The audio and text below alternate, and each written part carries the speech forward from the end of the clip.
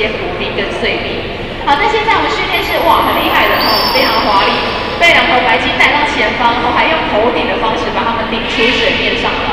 好，其实呢，这个鲸豚类它们是哺乳类的生物，好，所以在海洋当中，如果有宝宝出生，也会利用这种头顶的方式，轻轻的推顶它的宝宝，将它们顶出水面来换气哦。好，那现在呢，马布离各位很近，小心一点哦。哇，还好，被被拖到水的？好，我们赶快先稍微把自己手边的相机跟手机保护好，哦，不然这个白金脱水呢，可能越脱越高，要稍微留意一下各位的位置哦。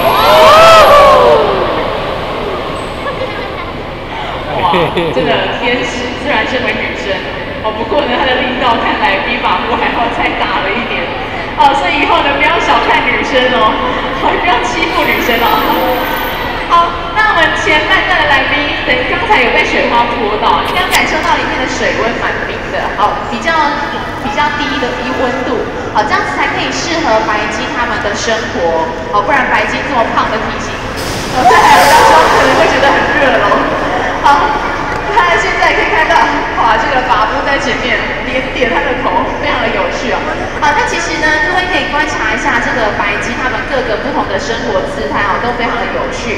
游泳的动作很多，好，也是因为呢，它们的胸鳍啊，还有颈椎哦，都是非常灵活的。好，那现在转个身呢，呃，用这个头下尾上的方式，好，跟大家摇摇他的屁股，挥挥他的尾鳍。哎，早餐竟然一下子就吃完了。哦，为什么白鲸吃早餐这么快速呢？因为其实呢，这个白鲸它们嘴巴有牙齿，可是牙齿没有办法像我们人类进行咀嚼磨碎的动作。哦，所以白鲸通常在用餐的过程当中，食物都是用吞的，直接吞到肚子里头去。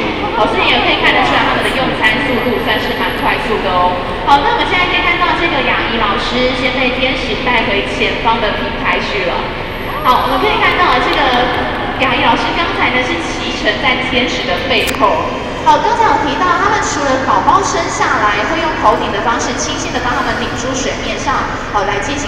的动作之外呢，好，其实他们也会利用背部拖着他们刚出生的新生幼儿，好，这样子才可以近距离的保护他们，照顾这些生物的宝宝。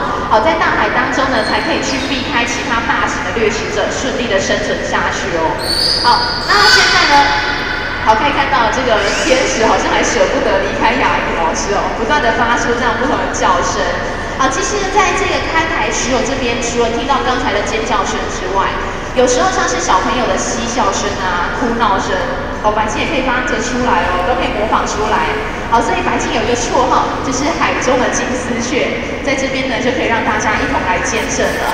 好，那现在呢，这个喂食的工作结束了。好，训练师呢也配合白金在大自然的环境当中所拥有的本能去设计这些动作。好，不过呢，接下来喂食这个工程呃工作结束之后，就会让整个空间还给白金，好，让天使跟法布呢可以继续的去培养他们的感情，有他们自然的生活。好，那另外因为现在我们两头白金都已经十六岁了，好，对于白金而言都已经是成熟的年龄。好，所以我们希望他们呢，以后可以稍微培养一下彼此之间的感情。或许来到海参馆会有小白鲸可以出生，也不一定哦。好，那我们在这边的这个白鲸的喂食，好，在这里告一段落。好，那我们呃各位来宾，好，如果这个问卷填写完的话，工作人员。身旁好那不过呢在这边要先提醒大家好吗等一下这个